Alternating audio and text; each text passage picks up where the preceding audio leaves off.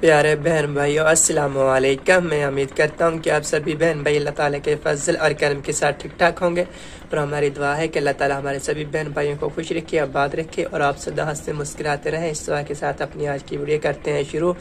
और वीडियो शुरू करने से पहले जो दोस्त हमारे चैनल पर नए जिन्होंने अभी तक हमारे यूट्यूब चैनल आवास वीर को सब्सक्राइब नहीं किया तो कैंडी सब्सक्राइब कर लें? अगर हमारे चैनल को सब्सक्राइब किया तो साथ में घंटे के बटन को ज़रूर प्रेस करें, ताकि हम जो भी नई वीडियो बनाएँगे, उसका नोटिफिकेशन आपको बर वक्त मिलता रहेगा। अगर साड़ी आई थी साढ़े बहना भाइयों अच्छी लगे इसमें लाइक और शेयर करें तो अपनी आई थी वीडियो करते हैं शुरू। ਤੇ ਆਈ ਸਾਡੀ ਵੀਡੀਓ ਕੁਝ ਇਸ ਤਰ੍ਹਾਂ ਹੈ ਅੱਜ ਦੀ ਵੀਡੀਓ ਦੇ ਵਿੱਚ ਅਸੀਂ ਬਣਾਵਾਂਗੇ ਦਲੇ ਚਨਿਆਂ ਦੀ ਦਾਲ।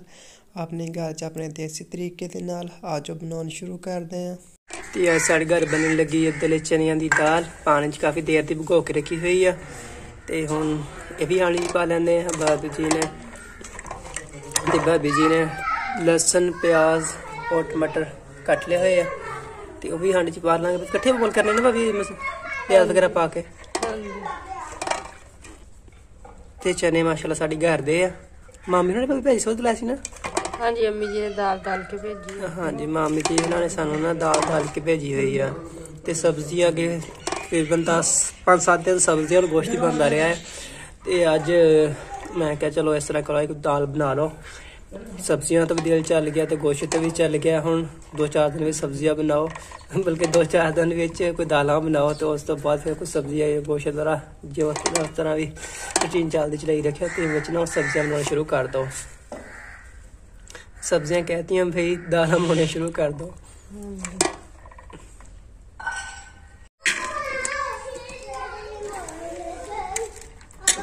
ਤੇ ਹੁਣ ਦਾਲ ਨੂੰ ਡਿਕਸ ਜੀ ਪਾ ਲੈਂਦੇ ਆ।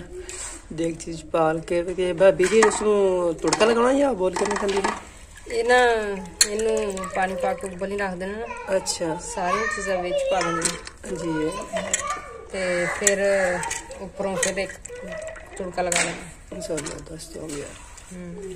ਤੇ ਭਾਬੀ ਜੀ ਕਹਿ ਰਹੇ ਇਸ ਨੂੰ ਬੋਲ ਕਰਕੇ ਅਸੀਂ ਤਰ੍ਹਾਂ ਦਾ ਬਾਅਦ 'ਚ ਤੜਕਾ ਲਗਾਈਦਾ ਹੈ ਤੜਕਾ ਲਗਾਈਦਾ ਹੈ। ਪਿਆਜ਼ਾਂ ਦਾ ਤੁੜਕਾ ਦੇਣਾ ਹਾਂਜੀ ਪਿਆਜ਼ਾਂ ਦਾ ਤੜਕਾ ਲਗਾ ਦੇਣਾ ਬਾਅਦ 'ਚ ਤੇ ਭਾਬੀ ਸ਼ੋਰਵੇ ਲਈ ਬਣਾਉਣੀ ਜਾਂ ਖੁਸ਼ ਨਹੀਂ ਦਰਮਿਆਨੀ ਜੀ ਬਣਾਵਾਂਗੇ। ਹਲਕਾ ਹਲਕਾ ਸ਼ੋਰਬਾ ਹਾਂਜੀ ਉਹ ਜ਼ਿਆਦਾ ਪਿਆਰੀ ਵੀ ਜ਼ਿਆਦਾ ਲੱਗਦੀ ਨਾਲੇ ਅੰਮੀ ਜੀ ਜੀ ਨੂੰ ਵੀ ਜ਼ਿਆਦਾ ਪਸੰਦ ਆ ਔਰ ਮੈਨੂੰ ਵੀ ਤਕਰੀਬਨ ਕਰ ਸਭੀ ਨੂੰ ਜ਼ਿਆਦਾ ਹੀ ਪਸੰਦ ਆ। ਨਾ ਸ਼ੋਰਬਾ ਬਣਾਵਾਂਗੇ ਨਾ ਹੀ ਹਾਂਜੀ ਨਰਮ ਜੀ ਬਣਾਵਾਂਗੇ ਦਾਲ।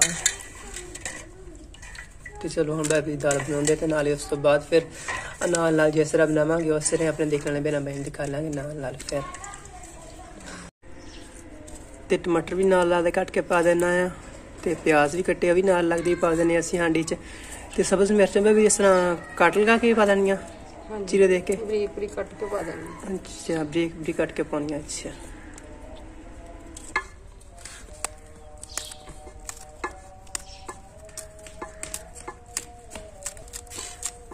ਤੇ ਪਿਆਜ਼ ਕੱਟ ਕੇ ਅਸੀਂ ਹਾਂਡੀ 'ਚ ਤੇ ਇਹ ਟਮਾਟਰ ਕੱਟ ਕੇ ਹਾਂਡੀ 'ਚ ਪਾ ਲਏ ਆ ਤੇ ਹੁਣ ਅਸੀਂ ਸਬਜ਼ ਮਿਰਚਾਂ ਵੀ ਕੱਟ ਕੇ ਬਰੀਕ ਬਰੀਕ ਇਸ ਤਰ੍ਹਾਂ ਹਾਂਡੀ 'ਚ ਪਾ ਲਾਂਗੇ ਤੇ ਫਿਰ ਉੱਪਰੋਂ ਪਿਆਜ਼ ਪਾਉਂਦੇ ਆ ਤੇ ਲਸਣ ਪਾ ਦਾਂਗੇ ਨਾਲ ਲੱਗਦੇ ਫਿਰ ਅੱਛੀ ਤਰ੍ਹਾਂ ਬੋਲ ਹੋ ਜਾਏਗਾ ਜਦੋਂ ਤੇ ਫਿਰ ਇਸ ਨੂੰ ਘੀ ਦਾ ਤੜਕਾ ਲਗਾਉਣਾ ਮੈਂ ਪਹਿਲਾਂ? ਹਾਂਜੀ ਥੋੜਾ ਜਿਹਾ ਪਿਆਜ਼ ਵਿਚਾ ਲੈਣਾ ਹੈ। ਅੱਛਾ ਥੋੜੇ ਪਿਆਜ਼ ਪਾ ਕੇ ਬਾਅਦ ਉਸ 'ਤੇ ਤੜਕਾ ਲਗਾਉਣਾ। ਪਿਆਜ਼ ਵੀ ਨਾਲ ਲੱਤ ਨਹੀਂ ਪਾਉਣੇ? ਥੋੜਾ ਜਿਹਾ ਪਾ ਦੇਣਾ ਥੋੜਾ ਜਿਹਾ ਰੱਖ ਲੈਣਾ ਉੱਪਰੋਂ। ਜਦੋਂ ਸਾਰੀ ਦਾਲ ਪੱਕ ਗਈ ਨਾ ਹਾਂਜੀ। ਇਸ ਤੋਂ ਉੱਪਰ ਪਾ ਲੈਣਾ। ਤੇ ਉਸ 'ਤੇ ਤੜਕਾ ਲਗਾ ਕੇ ਉਹ ਵੀ ਪਾ ਦੇਣਾ ਨਾਲ ਲੱਗਦਾ ਹਾਂਡੀ 'ਚ। ਜ਼ਬਰਦਸਤ ਹੋ ਗਿਆ। ਸਬਜ਼ ਮਿਰਚਾਂ ਵੀ ਕੱਟ ਕੇ ਹਾਂਡੀ 'ਚ ਪਾ ਲੀਆਂ ਹੁਣ ਅਸੀਂ ਲਸਣ ਵੀ ਨਾਲ ਲੱਗਦਾ ਹਾਂਡੀ 'ਚ ਪਾ ਲਾਂਗੇ। ਲਸਣ ਦੀਆਂ ਜਿਹੜੀਆਂ ਅਗੇ ਕਲੀਆਂ, ਤੇ ਉਸ ਤੋਂ ਬਾਅਦ ਕੁਝ ਪਿਆਜ਼ ਹਾਂਡੀ ਭਾਬੀ ਜੀ ਕਹਿੰਦੇ ਪਾ ਲੈਣੇ ਔਰ ਕੁਝ ਵਿਚਾਰੇ ਨੇ ਤੜਕਾ ਲਗਾਉਣੇ ਵਾਸਤੇ। ਜੀ ਤੜਕਾ ਲਗਾ ਕੇ ਪਿਆਜ਼ਾਂ ਤਾਂ ਉਹ ਵੀ ਹਾਂਡੀ 'ਚ ਪਾ ਦਾਂਗੇ ਫਿਰ। ਤੇ ਹੁਣ ਕੁਝ ਤੇ ਸਾਰਾ ਸਮਾਨ ਅਸੀਂ ਹਾਂਡੀ 'ਚ ਪਾ ਲਿਆ। ਹੁਣ ਥੋੜਾ ਜਿਹਾ ਹਾਂਡੀ 'ਚ ਪਾਵਾਂਗੇ ਪਾਣੀ ਤੇ ਫਿਰ ਹਰ ਚੀਜ਼ ਨੂੰ ਅੱਛੀ ਤਰ੍ਹਾਂ ਬੋਲ ਕਰਦੇ ਆ ਤੇ ਉਸ ਤੋਂ ਬਾਅਦ ਜਦੋਂ ਹੱਥ ਚੀਜ਼ ਅੱਛੀ ਤਰ੍ਹਾਂ ਬੋਲ ਹੋ ਗਈ ਫਿਰ ਇਸ ਵਿੱਚ ਪਾਊਡਰ ਮਸਾਲੇ ਪਾ ਲਾਂਗੇ ਤੇ ਉਸ ਤੋਂ ਬਾਅਦ ਘੀ ਦਾ ਤੜਕਾ ਲਗਾ ਦਾਂਗੇ। ਲੱਗੀ ਪਿਆਜ਼ਾਂ ਦਾ ਤੜਕਾ ਲਗਾ ਦਾਂਗੇ। ਪਾਊਡਰ ਮਸਾਲੇ ਵੀ ਨਾਲ ਲੱਗਦੇ ਪਾ ਦੇਣੇ ਮੈਨੂੰ ਲੱਗਦਾ ਬਾਬਾ ਜੀ ਨੇ ਨਮਕ। ਨਹੀਂ ਨਮਕ ਪਾਵਾਂਗੇ। ਅੱਛਾ ਕੱਲ ਨਮਕ ਹੀ ਪਾਵਾਂਗੇ ਥੋੜਾ ਜਿਹਾ ਨਮਕ ਜ਼ਿਆਦਾ ਨਹੀਂ। ਅੱਛਾ ਕੁਝ ਨਮਕ ਜ਼ਰੂਰ ਦੇ ਮੁਤਾਬਕ ਨਮਕ ਖਾਂਡ ਚ ਸੀ ਪਾਈਦਾ ਆ। ਔਰ ਕੁਝ ਸਫੈਦ ਜ਼ੀਰਾ। ਹਾਂਜੀ ਥੋੜਾ ਜਿਹਾ ਸਫੈਦ ਜ਼ੀਰਾ। ਤੇ ਬਾਈ ਦੂਸਰੇ ਮਸਾਲੇ ਜਿਹੜੇ ਉਹ ਫਿਰ ਉਹ ਤੜਕੇ ਤੜਕੇ ਚ ਪਾਉਣੇ? ਨਹੀਂ ਜਦੋਂ ਅੱਧੀ ਕੁ ਦਾਲ ਪੱਕ ਜਾਏਗੀ ਨਾ ਫਿਰ ਪਾਵਾਂਗੇ ਮੈਂ ਤੈਨੂੰ ਦੱਸੂਗੀ।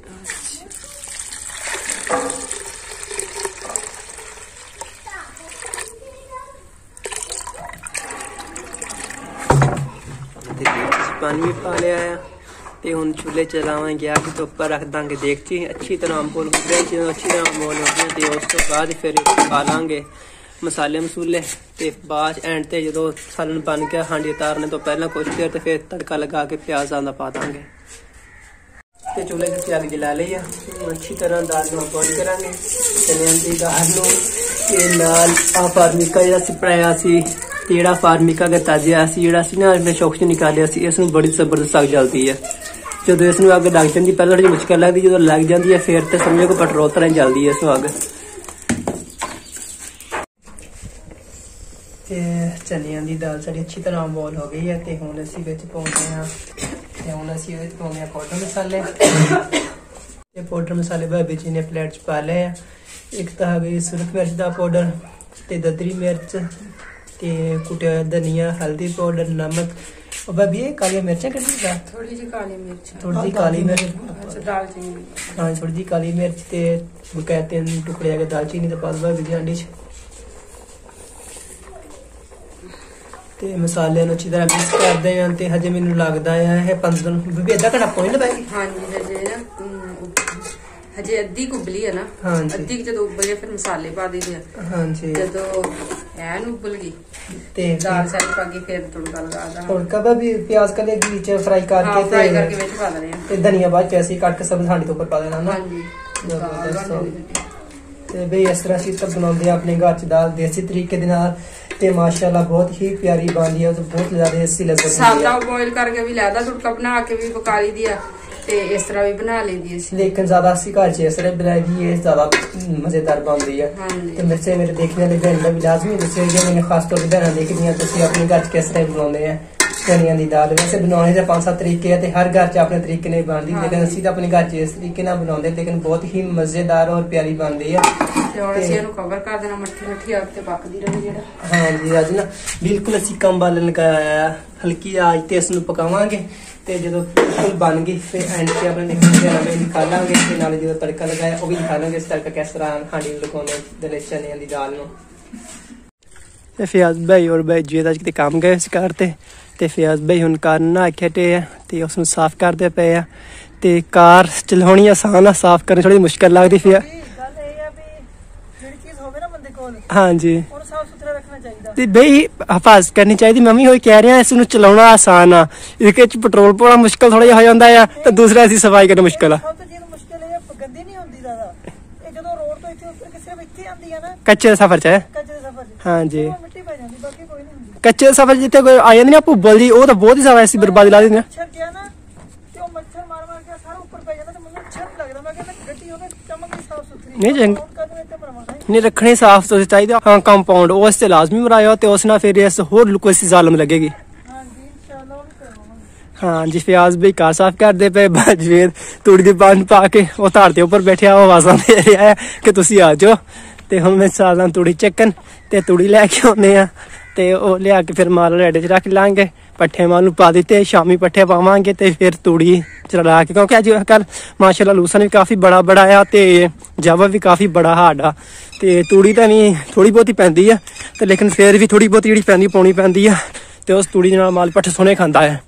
ਤੇ ਮਾਸ਼ਾਅੱਲਾ ਕਣਕ ਸਾਰੀ ਹੁਣ ਬਹੁਤ ਪਿਆਰੀ ਹੋ ਗਈ, ਕਾਫੀ ਬੜੀ ਬੜੀ ਹੋ ਗਈ ਆ ਤੇ ਬਿਲਕੁਲ ਨਿਸਰਿਆ ਹੀ ਆ ਤੇ ਕਣਕ ਦੇ ਛਿੱਟੇ ਵਿੱਚ ਜਿਹੜਾ ਹੁੰਦਾ ਨਾ, ਉਹਨੂੰ ਕੀ ਕਹਿੰਦੇ ਆ, ਦਾਣਾ ਬਣ ਗਿਆ ਜਿਸ ਨੂੰ ਅਸੀਂ ਆਪਣੇ ਪੰਜਾਬੀ 'ਚ ਕਹਿੰਦੇ ਕਿ ਛਿੱਟੇ 'ਚ ਦੋਧਾ ਪੈ ਗਿਆ ਆ। ਆ ਬਿਲਕੁਲ ਛੋਟਾ ਜਿਹਾ ਨਜ਼ਰ ਆ ਰਿਹਾ ਹੋਣਾ। ਤੇ ਦੋਧਾ ਬਣ ਗਿਆ ਹੋਇਆ ਦਾਣੇ ਦਾ ਜਿਹੜਾ ਹੁੰਦਾ ਨਾ ਕਣਕ ਦਾ ਦਾਣਾ ਇਸ ਨੂੰ ਪੰਜਾਬੀ 'ਚ ਅਸੀਂ ਕਣਕ ਦਾ ਛਿੱਟੇ ਦੋਧਾ ਬਣ ਗਿਆ ਕਹੀਦਾ। ਜ਼ਬਾਨ ਦੇ ਵਿੱਚ ਤੇ ਕਹਿੰਦੇ ਆ ਤੇ ਮਾਸ਼ਾਅੱਲਾ ਤੁਹਾਡੇ ਕੋਲ ਅਸੀਂ ਪਹੁੰਚ ਗਏ ਹਾਂ ਹੁਣ ਤੁਰਤੀ ਪਾਣੀ ਚੱਕਾਂਗੇ ਤੇ ਲੈ ਕੇ ਚੱਲਦੇ ਆਂ ਫਿਰ। ਤੀ ਖਾਲ ਸ਼ਾਮ ਵਾਸਤੇ ਭਗੋ ਦਿੱਤੀ ਆ ਇਹ ਮਾਲ ਮੋਰੇ ਪਾ ਕੇ ਤੇ ਫਿਰ ਦੁੱਧ ਨਿਕਾਲ ਲਾਂਗੇ ਕਿਉਂਕਿ ਸਾਡੀ ਗਾਂ ਇਸ ਨੂੰ ਪਹਾੜੇ ਤੇ ਮਿਲਦੀ ਹੈ ਤੇ ਉਸ ਨੂੰ ਖਾਲ ਪਾਵਾਂਗੇ ਤੇ ਫਿਰ ਧਾਰਾ ਨਿਕਾਲ ਲਾਂਗੇ। ਤੇ ਨਾਲ ਵਾਸ਼ਲ ਮਸ਼ੀਨ ਚੱਲਦੀ ਪਈ ਹੈ ਕੱਪੜੇ ਧੋ ਹੋ ਰਹੇ ਆ ਬਸ ਬਈ ਤਰ੍ਹਾਂ ਕੱਢ ਰਹੇ ਆ ਤੇ ਮੈਂ ਹੁਣ ਤੜਕਾ ਲਗਾ ਰਹੀ ਹਾਂ ਤੜਕਾ ਲਗਾਉਣ ਲੱਗੀ ਆ ਤੇ ਹਿਬਾ ਬੇਟੀ ਨੇ ਕੈਮਰਾ ਪਕੜਿਆ ਹੋਇਆ ਵਾ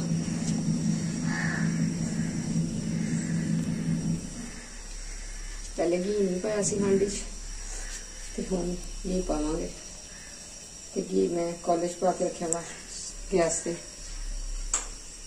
ਮੈਂ ਇੱਥੇ ਧੋਂਦਾ ਪਿਆ ਅੱਬੂ ਜੀ मुंह ने चप काट मम्मा मुंह ने कहा चप काट फिर इतने बच्चे छोड़ कर दे मैं चप काला वीडियो बनते पे हैं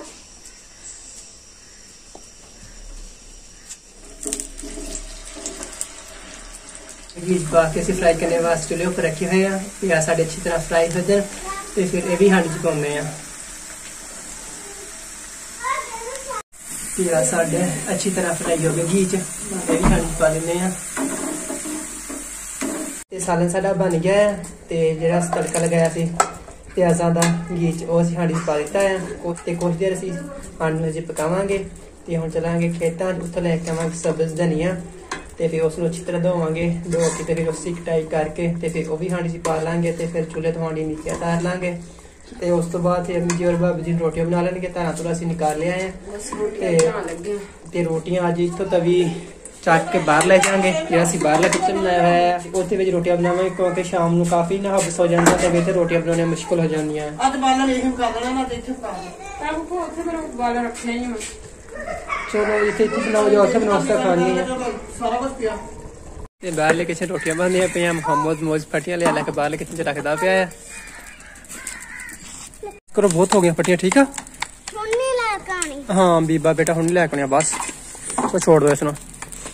ਤੇ ਰੋਟੀਆਂ ਇਸ ਟਾਈਮ ਬਾਹਰ ਬਣਾਉਣੇ ਦਾ ਆਪਣੇ ਹੀ ਮਜ਼ਾ ਮੇਰੇ ਦੇਖਣੇ ਤਾਂ, ਕਿਉਂਕਿ ਜਿਹੜਾ ਉਹ ਬੰਦ ਕਿਚਨ ਆ, ਉਹ 'ਚ ਨਾ ਬੜਾ ਹੱਬਸ ਹੋ ਜਾਂਦਾ ਤੇ ਫਿਰ ਰੋਟੀਆਂ ਬਣਾਉਣੀਆਂ ਮੁਸ਼ਕਲ ਹੈ ਕਿਉਂਕਿ ਮਾਸ਼ਾਅੱਲਾ ਸਾਡੀ ਠੀਕ ਠਾਕ ਫੈਮਿਲੀ ਹੈ ਤੇ ਫਿਰ ਰੋਟੀਆਂ ਬਣਾਉਣ ਲਈ ਝਟ ਲੱਗ ਜਾਂਦਾ ਹੈ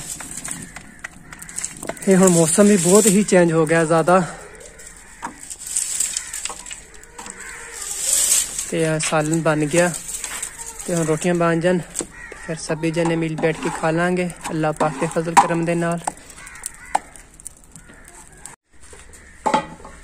ਕਰਮ ਛੱਡ ਦਿੱਤੀ ਖਾਣਾ ਮਾਸ਼ਾਅੱਲਾ, ਸਾਡਾ ਸਾਲਨ ਚਨੇ ਦੀ ਦਾਲ ਬਿਲਕੁਲ ਤਿਆਰ ਹੋ ਗਈ ਮਜ਼ੇਦਾਰ ਜੀ। ਤੇ ਹੁਣ ਅਸੀਂ ਇਹ ਚ ਸਬਜ਼ ਧਨੀਆ ਲਿਆ ਆ ਕੱਟ ਵੀ ਲਿਆ, ਦੋ ਕੱਟ ਕੇ ਅੱਛੀ ਤਰ੍ਹਾਂ ਧੋ ਲਿਆ। ਹੁਣ ਉਹ ਵੀ ਹਾਲੀ ਚ ਲੈਂਦੇ ਆ